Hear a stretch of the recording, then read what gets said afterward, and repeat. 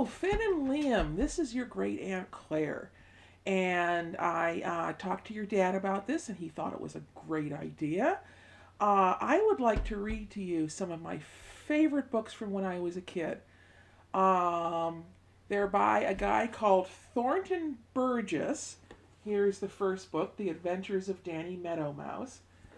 And he wrote about uh, little creatures that lived in uh, the meadow next to a farm, and there was a green forest next to the meadow, and there was the smiling pond that was near the great meadow. And in uh, in these books, uh, we learn about Danny Meadow Mouse and Grandfather Frog, and Jimmy the Skunk, and Jerry the Muskrat, and Peter Cottontail, and all kinds of all kinds of other creatures and I really hope that you're going to enjoy these stories. This first book, The Adventures of Danny Meadow Mouse, was the first book that I ever read all by myself when I was six years old. So, here we go. The Adventures of Danny Meadow Mouse by Thornton W. Burgess, illustrated by Harrison Cady, and I'll be holding up the book to show you the illustrations. And here's the first illustration. And it says, all Danny Meadow Mouse could think about was his short tail. Okay. Chapter 1 Danny Meadow Mouse is worried. Danny Meadow Mouse sat on his doorstep with his chin in his hands, and it was very plain to see that Danny had something on his mind. He had only a nod for Jimmy Skunk, and even Peter Rabbit could get no more than a grumpy good morning. It wasn't that he had been caught napping the day before by Reddy Fox and nearly made an end of. No, it wasn't that. Danny had learned his lesson and Reddy would never catch him again. It wasn't that he was all alone with no one to play with. Danny was rather glad that he was alone. The fact is, Danny Meadow Mouse was worried. Now, worry is one of the worst things in the world, and it didn't seem as if there was anything that Danny Meadow Mouse need worry about. But you know it is the easiest thing in the world to find something to worry over and make yourself uncomfortable about. And when you make yourself uncomfortable, you are almost sure to make everyone around you equally uncomfortable. It was so with Danny Meadow Mouse. Striped Chipmunk had twice called him Crosspatch that morning, and Johnny Chuck, who had fought Reddy Fox for him the day before, had called him Grumpy. And what do you think was the matter with Danny Meadow Mouse? Why, he was worrying because his tail was too short. Yes, sir, that is all that ailed Danny Meadow Mouse that bright morning. You know, some people let their looks make them miserable. They worry because they are homely or freckled or short or tall or thin or stout, all of which is very foolish. And Daddy, Me- Danny Meadow Mouse was just as foolish in worrying because his tail was short. Oh, it is short. It certainly is all of that. Danny ne- had never realized how short until he chanced to meet his cousin Whitefoot, who lives in the Green Forest. Oh, he was very elegantly dressed, but the most imposing thing about him was his long, slim, beautiful tail. Danny had at once become conscious of his own stubby little tail, and he had and he had hardly any pride enough to hold his head up as became an honest meadow, meadow mouse.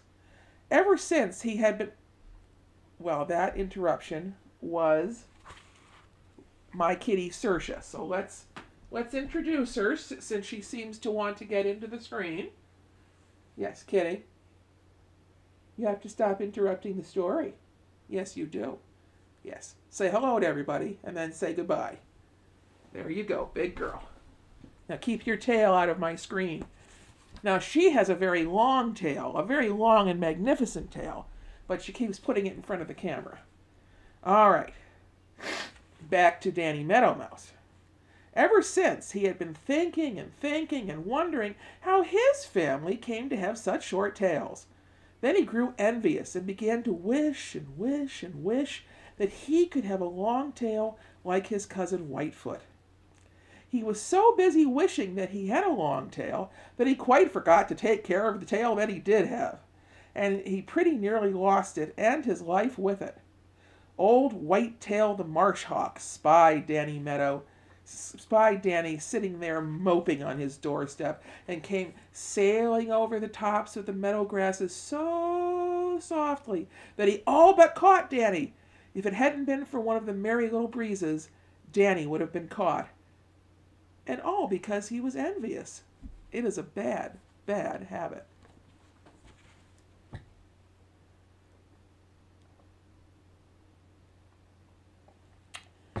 Chapter 2 Danny Meadow Mouse and his short tail.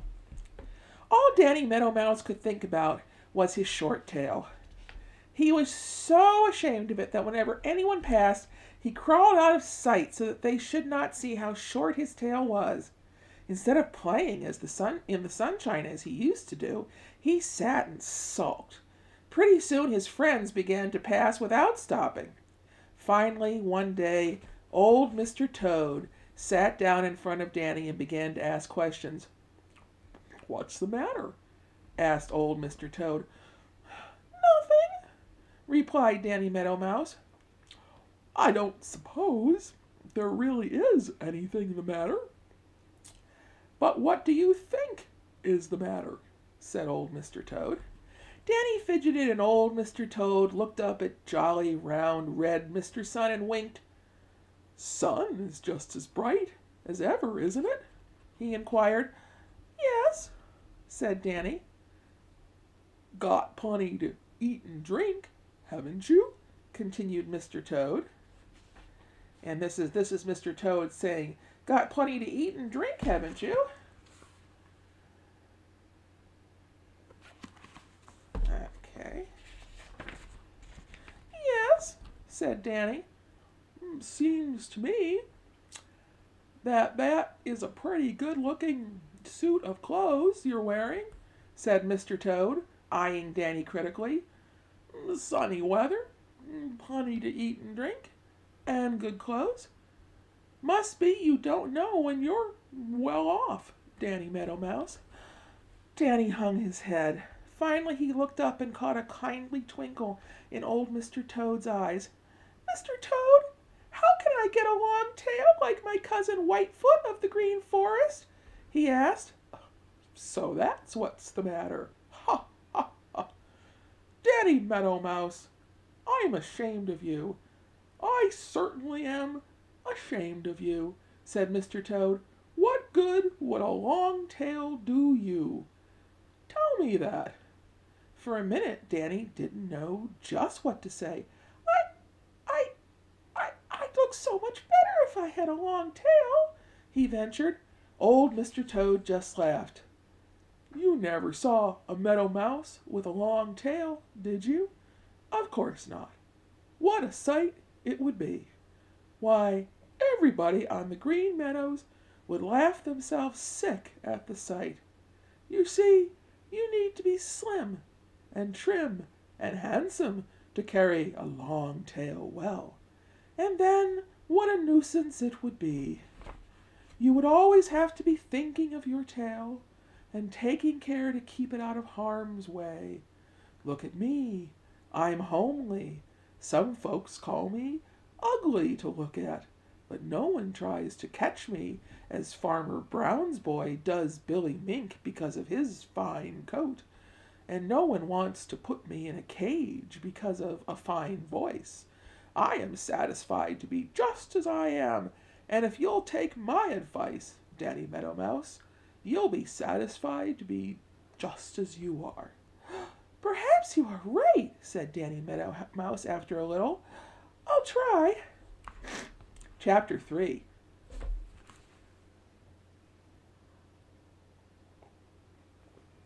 Danny Meadow Mouse plays hide and seek. Life is always a game of hide and seek to Danny Meadow Mouse. You see, he is such a fat little fellow that there are a great many other furry coated people, and almost as many who wear feathers, who would gobble Danny up for breakfast or for dinner if they could. Some of them pretend to be his friends, but Danny always keeps his eyes open when they are around and always begins to play hide and seek. Peter Rabbit and Jimmy Skunk and Striped Chipmunk and Happy Jack Squirrel are all friends whom he can trust. But he always has a bright twinkling eye open for Reddy Fox and Billy Mink and Shadow the Weasel and Old Whitetail the Marsh Hawk and several more, especially Hooty Owl at night.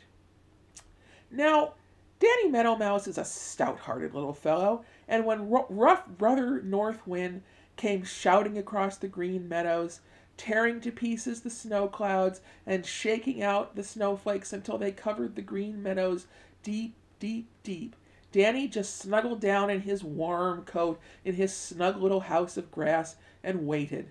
Danny liked the snow. Yes, sir, Danny Meadow Mouse liked the snow. He just loved to dig in it and make tunnels. Through these tunnels in every direction he could go where he pleased and when he pleased without being seen by anybody.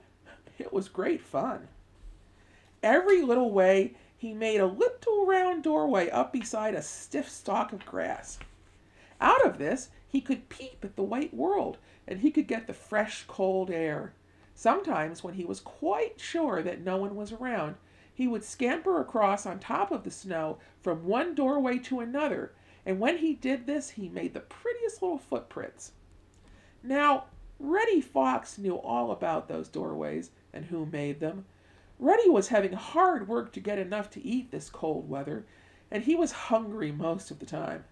One morning, as he came tiptoeing softly over the meadows, what should he see just ahead of him but the head of Danny Meadow Mouse pop out of one of those little round doorways. Reddy's mouth watered, and he stole forward ever more softly than ever. When he got within jumping distance, he drew his stout hind legs under him and made ready to spring. Presto! Danny Meadow Mouse had disappeared. Reddy Fox jumped the same, and began to dig as fast as he could make his paws go. He could smell Danny Meadow Mouse, and that made him almost frantic. All the time, Danny Meadow Mouse was scurrying along one of his little tunnels, and when finally Reddy Fox stopped digging because he was quite out of breath, Danny popped his head out of another little doorway and laughed at Reddy. Of course Reddy saw him, and of course Reddy tried to catch him there, and dug frantically just as before, of course, Danny Meadow Mouse wasn't there. And here's a picture of Danny popped his head out of another doorway and laughed at Reddy Fox.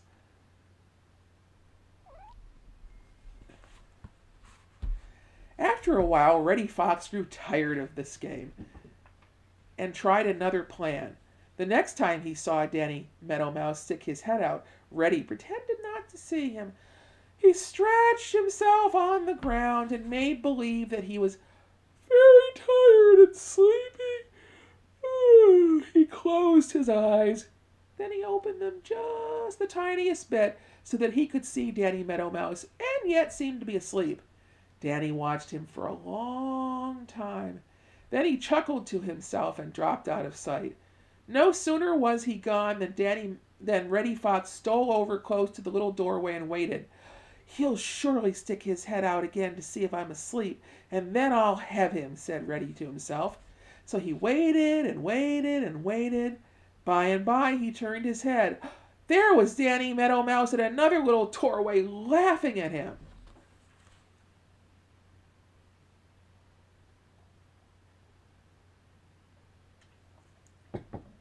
Chapter 4 Old Granny Fox tries for Danny Meadow Mouse. Danny Meadow Mouse had not enjoyed anything so much for a long time as he did that game of hide and seek. He tickled and chuckled all the afternoon as he thought about it. Of course, Reddy had been it. He had been it all the time, for never once had he caught Danny Meadow Mouse. If he had, uh, well, there wouldn't have been any more stories about Danny Meadow Mouse because there wouldn't have been any Danny Meadow Mouse anymore. But Danny never let himself think about this. He had enjoyed the game, all the more because it had been a dangerous game. It had been such fun to dive into one of his little round doorways in the snow, run along one of his own little tunnels, and then peep out at another doorway and watch Reddy Fox digging as fast as ever he could at the doorway Danny had just left. Finally, Reddy had given up in disgust and gone off muttering angrily to try to find something else for dinner. Danny had sat up on the snow and watched him go. In his funny little squeaky voice, Danny shouted, Though Reddy Fox is smart and sly, hi hum diddly o, I'm just as smart and twice as spry, hi hum diddly o. That night Reddy Fox told old Granny Fox all about how he had tried to catch Danny Meadow Mouse. Granny listened with her head cocked on one side. When Reddy told how fat Danny Meadow Mouse was, her mouth watered.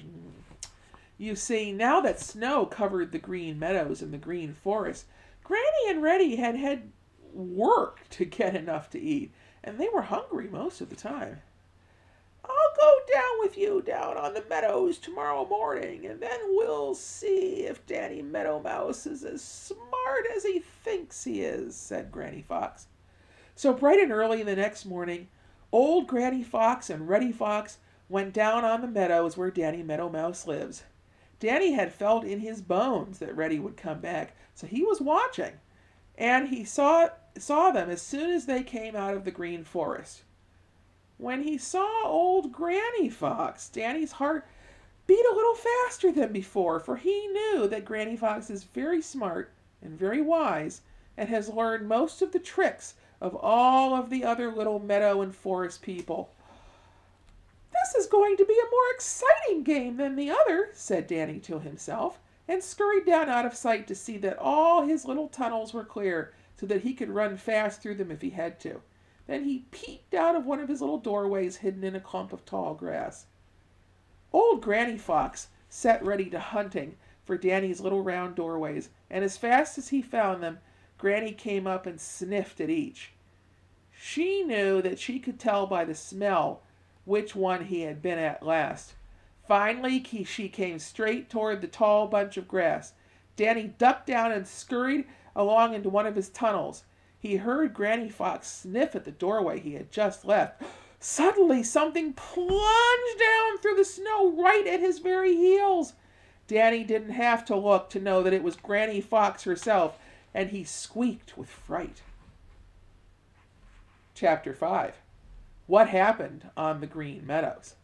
Thick and fast things were happening to Danny Meadow Mouse down on the snow covered Green Meadows. Rather, they were almost happening. He hadn't minded when Reddy Fox all alone tried to catch him. Instead, he had made a regular game of hide and seek of it and had enjoyed it immensely. But now it was different. Granny Fox wasn't so easily fooled as Reddy Fox. Just Granny alone would have made the game dangerous for Danny Meadow Mouse. But Reddy was with her, and so Danny had two to look out for, and he got so many frights that it seemed to him as if his heart had moved right up into his mouth and he was going and it was going to stay there. Yes, sir, that is just how it seemed. Down in his little tunnels underneath the snow, Danny Meadow Mouse felt perfectly safe from Reddy Fox, who would stop and dig frantically at the little round doorway where he had last seen Danny. But old Granny Fox knew all about those little tunnels, and she didn't waste any time digging at the doorways. Instead, she cocked her sharp little ears and listened with all her might. Now, Granny Fox has very keen ears, oh, very keen ears, and she heard just what she hoped she would hear. She heard Danny Meadow Mouse running along one of his little tunnels under the snow.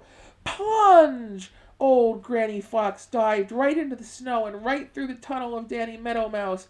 Her two black paws actually touched Danny's tail. He was glad then that it was no longer. Ha! cried Granny Fox. I almost got him that time. Then she ran ahead a little way into the snow, listening as before. Plunge! Into the snow she went again. It was lucky for her, him that Danny had just turned into another tunnel, for otherwise she would surely have caught him. Granny Fox blew the snow out of her nose.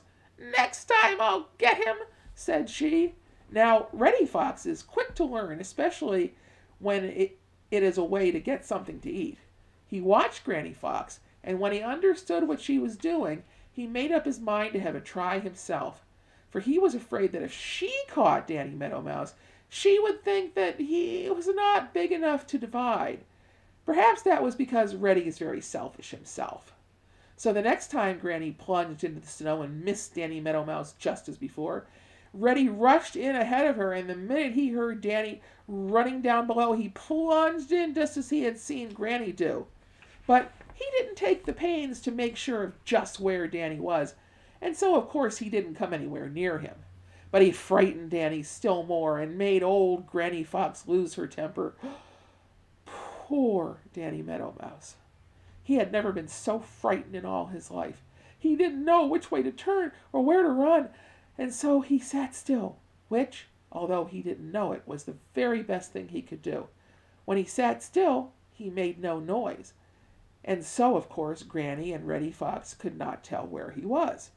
Old Granny Fox sat and listened and listened and listened and wondered where Danny Meadow Mouse was. And down under the snow, Danny Meadow Mouse sat and listened and listened and listened and wondered where Granny and Reddy Fox were. Pooh! said Granny Fox after a while. That Meadow Mouse thinks he can fool me by sitting still. I'll give him a scare. Then she began to plunge into the snow this way and that way, and sure enough, pretty soon she landed so close to Danny Meadow Mouse that one of her claws scratched him. Well, that's five chapters, and the next chapter is chapter six. Danny Meadow Mouse remembers, Reddy Fox forgets. And I think I'll read that the next time. So this has been uh, the first five chapters of the adventures of Danny Meadow Mouse, and I hope you enjoyed them, and I will make a video for the next few chapters for you very soon. Love you. Bye.